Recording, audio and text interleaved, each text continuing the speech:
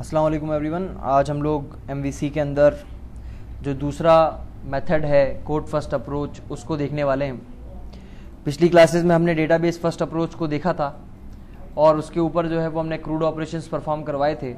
Database first approach में कुछ इस तरह से था कि हमारे पास डेटाबेस मौजूद था और उसके ज़रिए हमने जो है वो मॉडल्स को जनरेट करवाया था ऑटोमेटिकली और उन मॉडल्स के ज़रिए क्रूड ऑपरेशंस और उनके व्यूज़ भी ऑटोमेटिकली हमने जनरेट करवाए थे।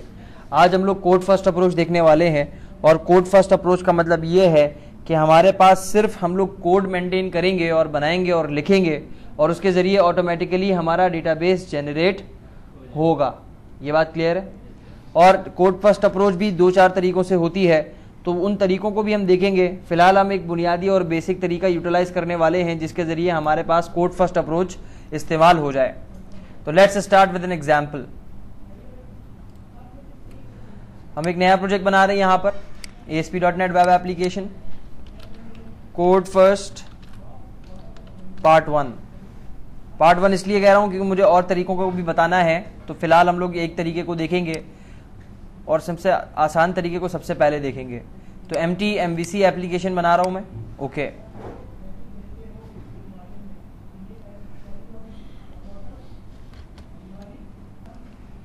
ठीक है? अब पहले हम लोगों ने क्या किया था? डेटाबेस फ़र्स्ट अप्रोच में डेटाबेस बनाया था टेबल्स बनाए थे। आज हम लोग जो है वो सबसे पहले मॉडल बनाएँगे। Model means your class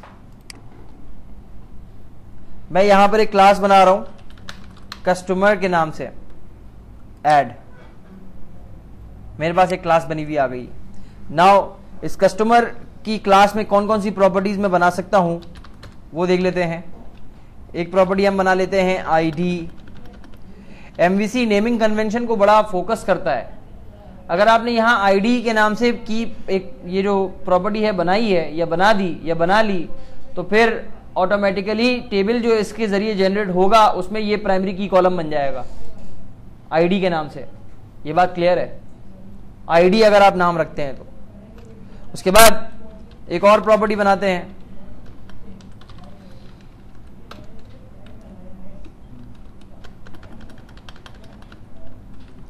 cust underscore name और इसके ऊपर जो है वो एनोटेशन लगा लेते हैं। डिस्प्ले जिन लोगों को ये नहीं पता तो वो प्रीवियस लेक्चर्स देख सकते हैं। उसके लिए हमें using system dot component model dot data annotation को यूटिलाइज करना है। डिस्प्ले और यहाँ पर दे देते हैं डिस्प्ले के बाद सबसे पहले मुझे यहाँ देना है name equal to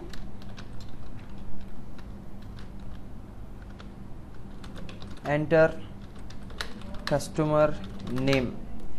ये कहाँ दिख रहा होगा? ये आपके व्यू पर दिख रहा होगा। इसके बजाय, सही है? जिन लोगों को ये नहीं क्लियर वो प्रीवियस लेक्चर्स को देख सकते हैं। तो डिस्प्ले नेम तो ये होगा और दूसरा इस पर एक और नोटेशन लगा लेते हैं। रिक्वायर्ड और रिक्वायर्ड पे कोई एरर मैसेज भी दिखाना है तो वो भी आप दिखा सकते हो। Error message equal to double quotes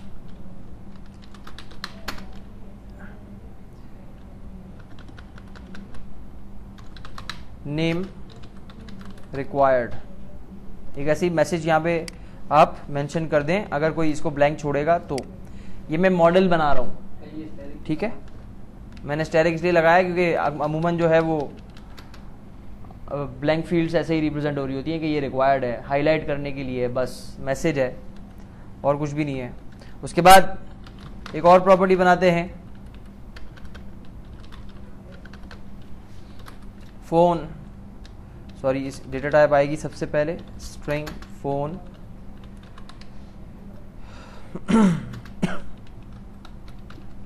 और फ़ोन के साथ हम लोग रिजेक्ट्स लगा रहे हैं।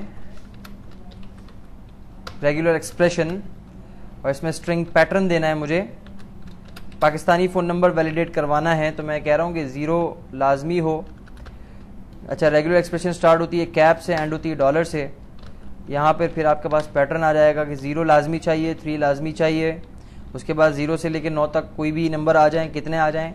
दो आ जाएँ, ये मैं रिजिक्स लिख रहा हूँ। और उसके बाद मुझे डैश भी चाहिए, और उसके बाद मुझे जो है वो ज़ीरो से लेके नौ तक फिर नंबर चाहिए, वो कोई भी हो सकते हैं, मैक्सिमम, मिनिमम सेवन। तो पाकिस्तानी फ़ोन नंबर के लिए जो रिजेक्ट्स होनी चाहिए, वो यहाँ पर मैंने मेंशन की है। अगर इस फ़ोन नंबर के अलावा कोई फ़ोन नंबर एंटर करने की कोशिश करेगा तो फिर एरर जनरेट होगा। और एरर जनरेट करने के लिए आप जो है वो फिर यहाँ पे कॉमा और नेम्ड पैरामीटर्स में एरर मैसेज दे दें। Error message equal to phone should be like zero three one two three four five six seven इस फॉर्मेट में होना चाहिए। क्लियर है ये बात? इसी तरह से कस्टमर आईडी कस्टमर नेम हो गया फ़ोन हो गया। कस्ट अंडर स्कोर फ़ोन कर लें इसको। कस्ट अंडर स्कोर फ़ोन और उसके बाद डिस्प्ले नेम जो है वो डिस्प्ले डिस्प्ले और नेम के अंदर आ जाएगा name equal to enter phone number colon और उसके बाद फ़ोन के बाद जो है वो, बस काफ़ी है। मैं फ़िलहाल जो है वो, ये कुछ डेटा जो है मेरा, ये मैंने एक मॉडल बनाया है। दिस इज़ अ क्लास बस कोड फ़र्स्ट अप्रोच के अंदर आपने अपना कोड ही लिखना होता है, बाकी सारा का सारा काम जो है वो ऑटोमेटिकली हो जाता है बेस्ड ऑन सम डेटा तो वो कैसे होगा? उसके लिए आपको यहाँ पर अपने प्रोजेक्ट पे राइट क्लिक करना होगा मैनेज न्यूगेट पैकेजेस पे क्लिक करना होगा, और यहाँ पर आपने लिखना होगा एंटिटी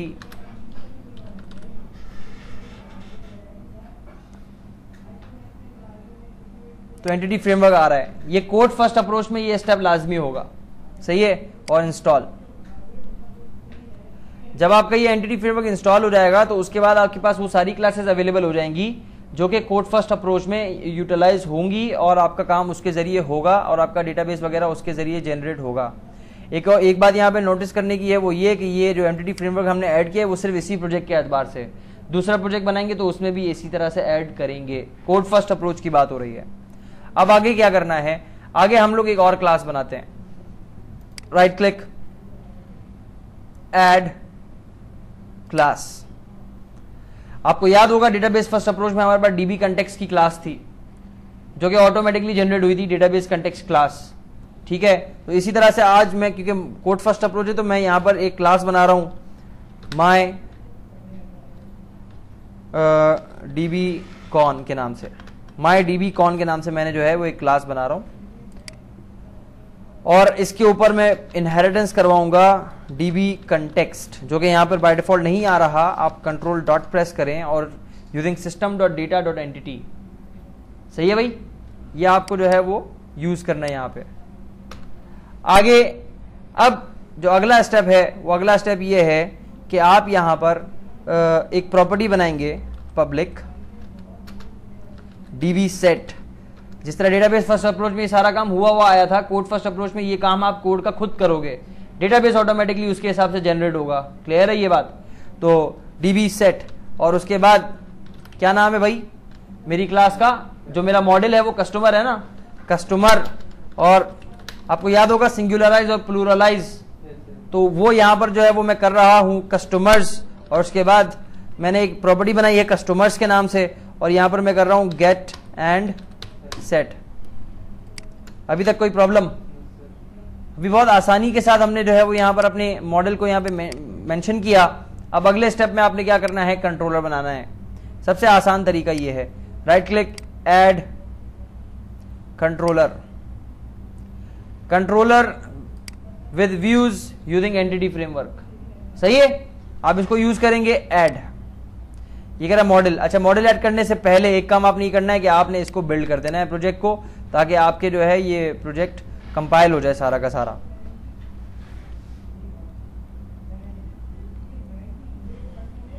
प्रोजेक्ट हमारा सक्सेसफुली बिल्ड हो चुका। अब हम लोग कंट्रोलर पे जाएँगे ऐड करेंगे, और new controller controller with views आप एम बनाकर भी कोडिंग कर सकते हो उसमें, पूरे के पूरे कंट्रोलर की अपने हिसाब से। फ़िलहाल हम लोग जो है वो टाइम की कमी की वजह से controller with views using entity framework select कर रहे हैं। ये कह रहा है मॉडल क्लास मॉडल में मेरे पास आ रहा है, मेरा एक कस्टमर कस्टमर यहाँ पे आ गया। डेटा कंटेक्स क्लास मैंने कहा माई डीबी कॉन, जो मैंने बनाई है। और उसके बाद जनरेट व्यूज़ हाँ मुझे व्यूज़ भी बनाने हैं। ये कंट्रोलर का नाम होगा कस्टमर्स और एड स्काफ फोल्डिंग हमने पढ़ी है। ऑटोमेटिकली अब मेरा कंट्रोलर भी बनेगा। उसमें क्रूड ऑपरेशंस भी परफॉर्म हुए हुए होंगे और व्यूज़ भी ऑटोमेटिकली जनरेट मिलेंगे मुझे।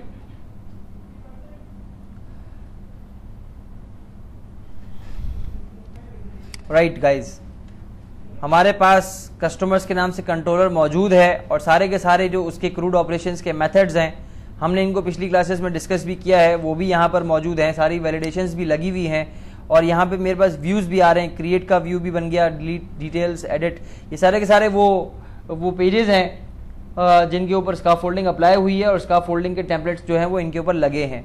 ठीक है अब अगला स्टेप जो मुझे करना है, वो ये करना है कि रूट कॉन्फ़िग पे जाना है और यहाँ पे क्या करना है?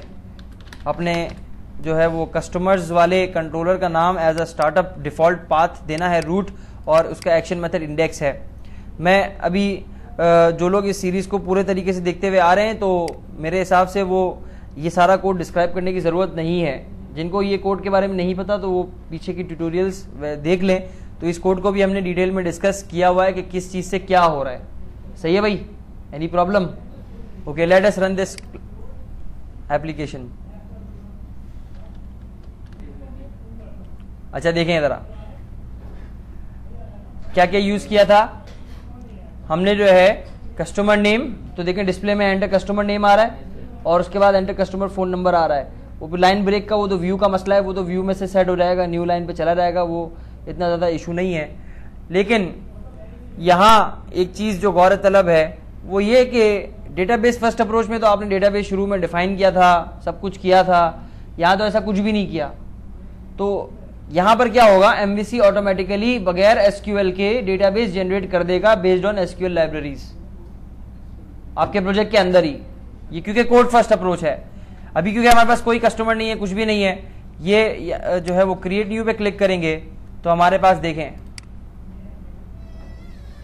ठीक है भाई? Create new customer enter customer name customer name के अंदर हमने दे दिया फारूक और फ़ोन नंबर में दे दिया कुछ भी और उसके बाद क्रिएट तो देखें। तो वैलिडेशन वगैरह सारी अप्लाई हुई हुई है। अब यहाँ पे आप प्रॉपर फ़ोन नंबर दें। तो फिर एरर हट जाएगा और create look Farooq has been inserted मैंने क्या किया है? मैंने सिर्फ़ एक मॉडल बनाया है। और ये रिकॉर्ड इंसर्ट हुआ है, तभी तो यहाँ पे लिस्ट में आ रही है और मैं ये दिखाऊँगा भी आपको। फिर आप जो है वो इसको एडिट करें। और एडिट के भी देखें एडिट में उठ के आ रहा है। यहाँ सेवन के बजाय आप एट कर दें और सेव करें। तो रिकॉर्ड अपडेट भी होगा और रिकॉर्ड जो है वो फिर डिलीट भी होगा। I show you want to delete वही सारा काम है, जिस तरह से आपने डेटाबेस फ़र्स्ट अप्रोच में देखा था। लेकिन दिस टाइम हम लोगों ने क्लास पहले बनाई है। डेटाबेस ऑटोमेटिकली जनरेट हुआ है डिलीट देखें डिलीट हो गया। Create new customer once again और फारूक और उसके बाद फ़ोन नंबर और क्रिएट तो आपके पास ये फिर क्रिएट हो गया। Let us go to the database now close this visual studio पर आए।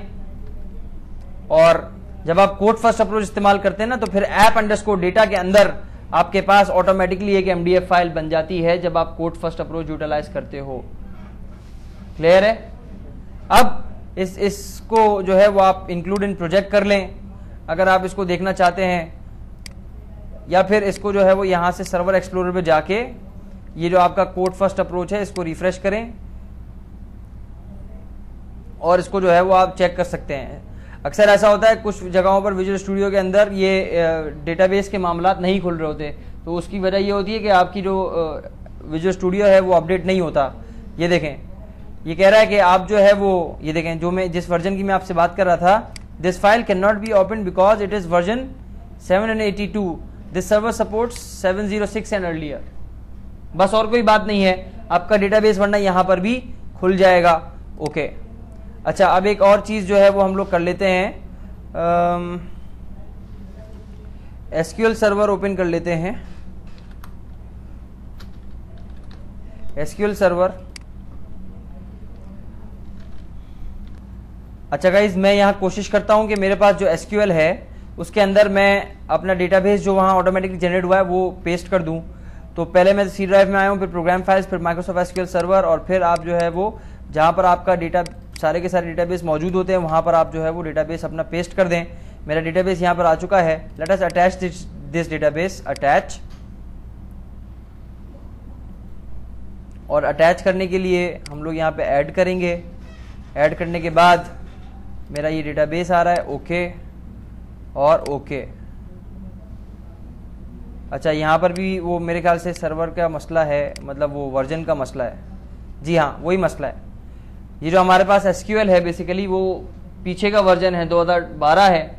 आप इसको 2014 या फिर 2016 के ऊपर जब आप कनेक्ट करेंगे इनशाला तो ये डेटाबेस कनेक्ट हो जाएगा और इसके अंदर जो टेबल्स वगैरह हैं, जो डेटा वगैरह है, वो आप व्यू करवा सकते हो. Any problem in this clear है सब लोगों को?